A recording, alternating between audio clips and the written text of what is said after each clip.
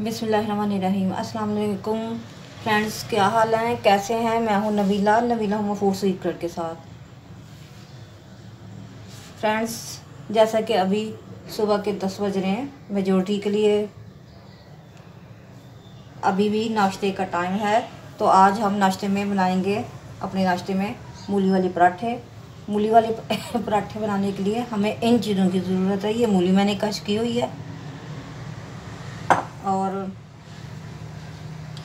ये ऑयल है और ये इसमें मूली के पत्ते भी हैं और धनिया भी हरा। ये हरी मिर्चें हैं ये ज़ीरा है। ये धनिया पाउडर है नमक है ए, मिर्च है नमक है। वैसे तो अजवाइन भी डालती हूँ इस वक्त वो अवेलेबल नहीं है तो मैं इन्हीं चीज़ों से बना लेती हूँ। तो इसमें सबसे पहले ये कर लेंगे इसमें। हरी मिर्चें काट लेंगे।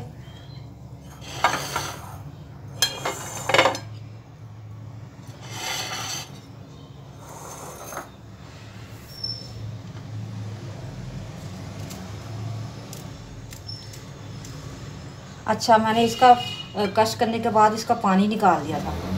दबा दबा के ना चोड़ के।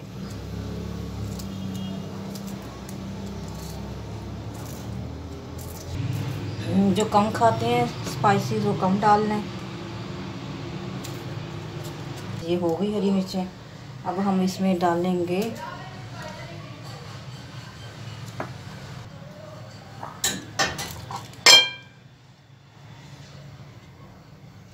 ये देख लें, हरा धनिया और मूली के कुछ पत्ते और ये ज़ीरा भी डाल दिया।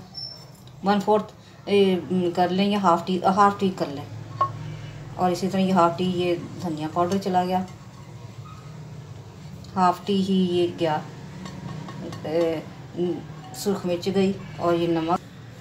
और इसके लिए पता है, आटा तो होता ही है, तभी तो रोटी बनेगी।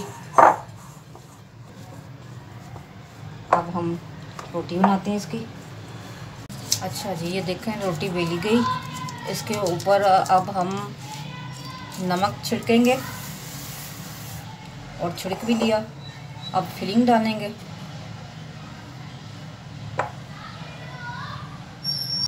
और देखने में भी अच्छी लगती हैं। इन्हीं जो बाहर की रोटियाँ इसकी होती हैं ना, बारीक होनी चाहिए।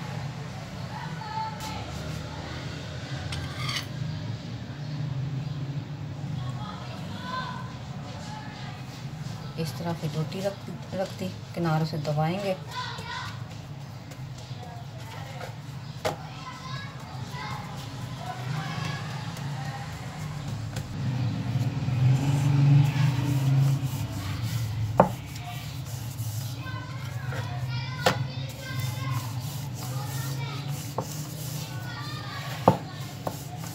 तवे पे डालेंगे तवे के ऊपर डाल दिया इसे।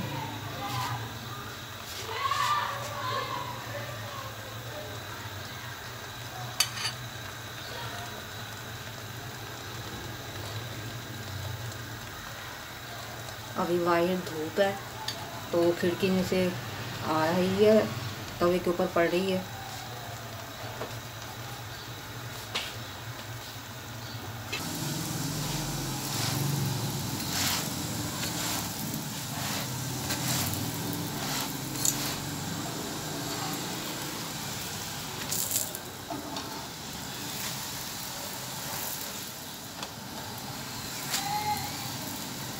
देख लें, क्या परफेक्शन है।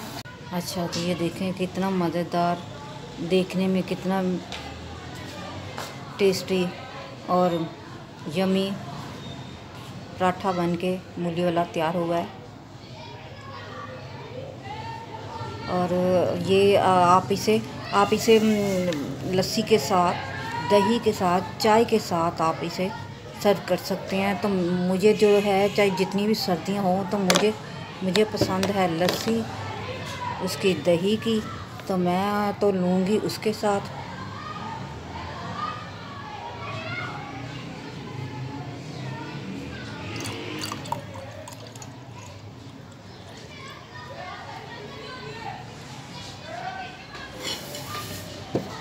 तो आप अपने अकॉर्डिंग टेस्ट कर लें।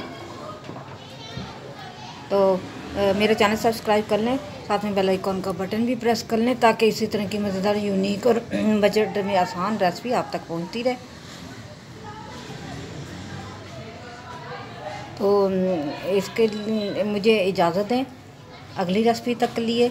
मैं फिर, मैं जल्दी से ये गरम गरम पराठे का नाश्ता करूँ, और आपके लिए टिप ये है कि आप अगर आलू का बनाए पराठा या उसका मूली का इन दोनों के लिए आपने अगर आप सुबह भी तैयार करके रखें तो इसमें नमक नहीं डालें और अगर आपने शाम को भी इसके पराठे बनाने इसकी फिलिंग के साथ। तो न, जब आप नमक नहीं डालेंगे तो यूँ ही रहेगा कि जैसे आपने अभी जो है इसकी फिलिंग जो है तैयार की है। लुक भी ऐसी होगी हो, जैसे फ़्रेश की और टेस्ट भी ऐसा होगा कि जैसे अभी आपने ये तैयार किया। ये थी आज के लिए टिप तो इजाज़त दें।